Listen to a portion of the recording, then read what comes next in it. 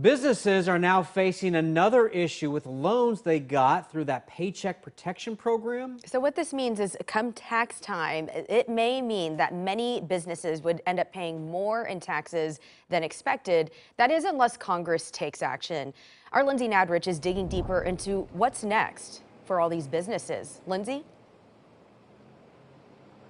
Yeah, well, the Paycheck Protection Program was the lifeline many businesses needed to stay open during this pandemic. It was supposed to make things easier.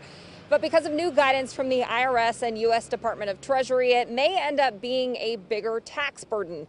The guidance says if the PPP loan is forgiven, businesses can't deduct expenses related to the loan.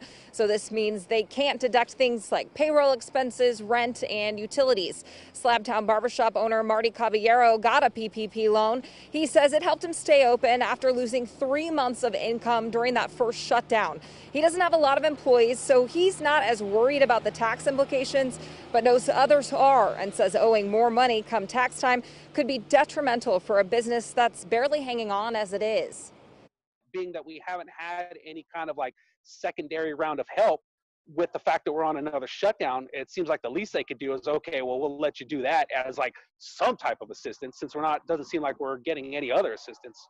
But we're hearing from clients who, who may have made a different choice had they realized that this was not a truly tax deductible uh, or a tax uh, free situation. Steve Stegeman with Davis and Graves CPA in Gresham says the guidance goes against what Congress intended when it created this program to help businesses. There is a bill that would change this, but Congress has yet to take action on that. I'll have much more on this coming up at 5 o'clock. Reporting live, I'm Lindsay Nadrich, KOIN 6 News.